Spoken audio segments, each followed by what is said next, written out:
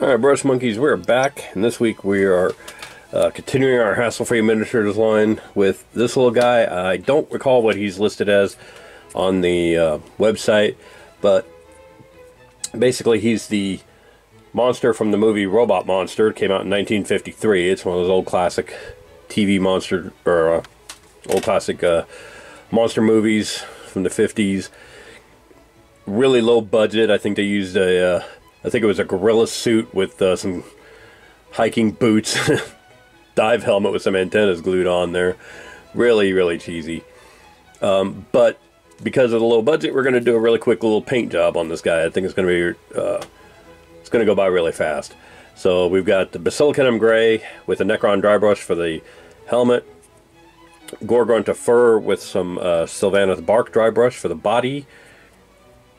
Uh, the palms of his hands are going to be uh, Basilicanum Gray with the uh, Dawnstone dry brush. Hardened leather for his boots.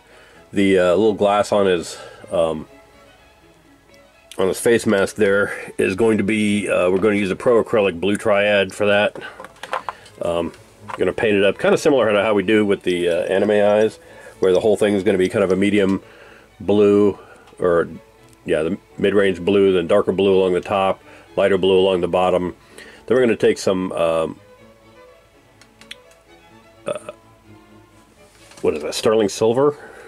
Shining silver from Army Painter. And draw some little reflections on there. I think it's going to look really good. And uh, yeah, that's about all there's going to be for that guy. It's going to be a pretty quick little thing. We're once we matte seal it, we'll gloss coat that. The base is going to be um, Dark Angels green with Niblet green dry brush and then a dark green base band. So I'm not expecting this to take a really long time. I think it's going to be a quick little paint. It's mostly contrast paints and dry brush. But I think when we get done, it's going to look really good. It's going to look like the original from the from the movie. Uh, let me see if I can pull up a real quick picture of what he's going to look like what the monster from the movie looked like. And you can see what I'm going for. It was an old black and white movie, so there's not a whole lot of pictures in color of what the creature looked like. But, uh, I got you here, hang on. There's a good picture of what he looked like. You see the kind of reddish brown fur and the black palms of the hands he didn't have the boots in that one, so that's the distinctive here. We're going to use hardened leather for the boots. Back then, it was just a gorilla suit with a with a spaceman helmet on it.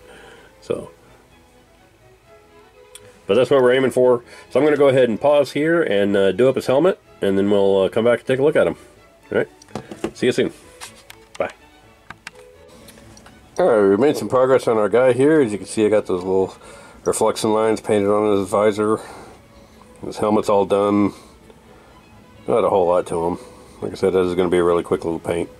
So next step is to dry brush these hands with the Dawnstone and then paint the fur with the Gore-Grunta fur. It's a nice reddish brown. So I'm going to go ahead and do that and then we'll come back and take a look at them. Right. See you soon. Alright, we have his little gorilla hands all dry brushed and the Gore-Grunta fur painted on. Looks really good. I'm going to let that dry and then we'll uh, dry brush it with the Sylvaneth bark. And then we'll get his boots. So like I said, he's about 90% done now. I told you it was going to be a really fast little paint. So I'm going to take a break and let that uh, Gore-Grunta fur dry. And we'll come back and hit the next thing. See you soon. Bye. Alright, so our robot monster's fur is all done. See, I've got them all dry brushed with the Sylvaneth bark, and it makes a nice little highlight to that dark brown Gore-Grunta fur, kind of reddish brown.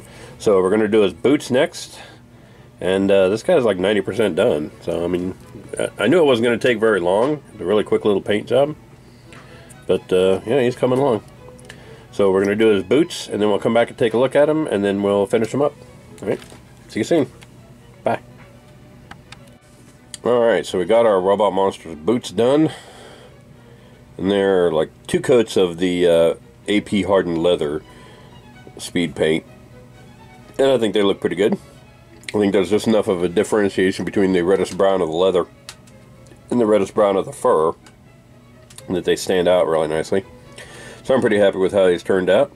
Um, all that's left to do now is his basing, and he's going to be done with the uh, usual. Uh, I got his his uh, texture paste on there, so I'm going to do the. Uh, actually, you know what?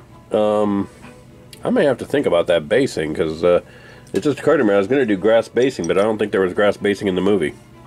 So let me think that over and get back to you. Bye.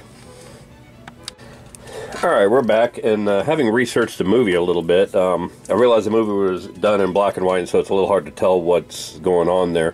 But it looks like a lot of it was shot in kind of um, caves and sort of rocky areas, uh, uh, kind of arid, not quite desert, but certainly dry areas. Um, so rather than going with the bright green color scheme, um, I'm going to do kind of a more arid, rocky sort of thing with uh, yellow for the whole base. And I'm going to dry brush that with a little Tyrant Skull. And then give it the base band a uh, uniform brown base band. And we'll probably put some uh, wasteland tufts on there too, just to kind of, because there is a little bit of plants and scrub there. It's just nothing really big. Um, so I think that'll, I think that'll turn out nice. So uh, the next time you see this guy, he's going to be completely done. We're going to go ahead and wrap him up. And uh, after we get done doing his base, I'm going to matte seal him and give his visor here a uh, quick coating of um, gloss coat so it'll look like glass. And I think he's going to look really good. So, like I said, next time you see him, he'll be completely done. See you soon. Bye. Alright, brush monkeys. There is our finished robot monster uh, stand-in. Not official Robot Monster, but you know what he is. Uh, from Hasslefree Miniatures, courtesy of my friend Brian Bledsoe, who sold me this mini. I think he turned out really fantastic. I'm really happy with how he looked. I think he's uh, looks really close to the original. So I'm pretty happy with him. So I'm going to go ahead and call this guy done, and then uh, we'll start on something else next week. Thanks for watching. See you later. Bye.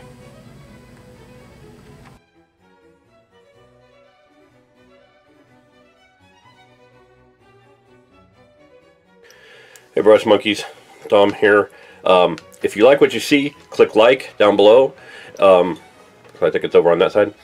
Uh, if you want to be notified when new videos come out, click subscribe.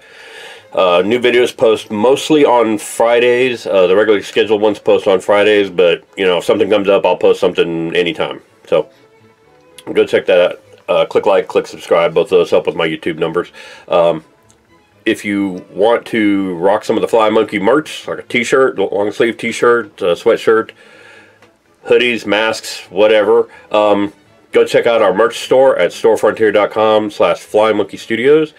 Uh, if you want to uh, support me in other ways, there's my Amazon wish list. Um, feel free to check that out. Uh, check out our Instagram, Twitter, Tumblr, and uh, Facebook accounts. And uh, thanks for watching. I'll see you guys later.